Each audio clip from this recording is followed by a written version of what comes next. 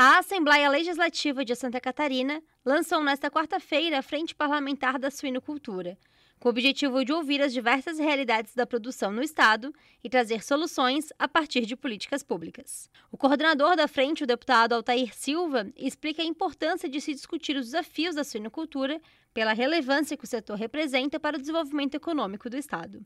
A suinicultura catarinense é uma das principais é, fontes da economia do agro.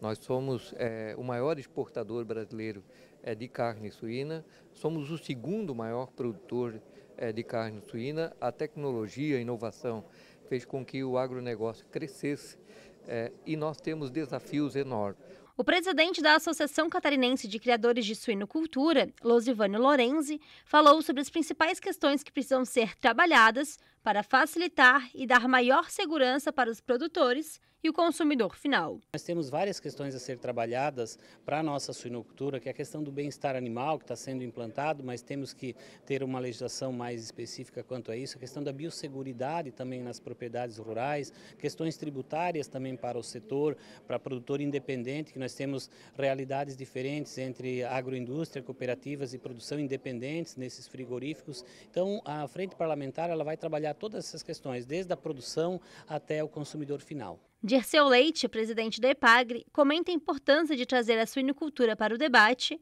e, em conjunto, buscar alternativas para que a atividade se torne sustentável, evitando fenômenos como o êxodo rural. A criação da frente parlamentar, ela busca trazer alternativas, alternativas para que o produtor possa enfrentar um mercado cada vez mais competitivo, necessitando muitas vezes de planejamento estratégico de curto e longo prazo, para que a atividade possa retornar aos padrões como já foi uma vez.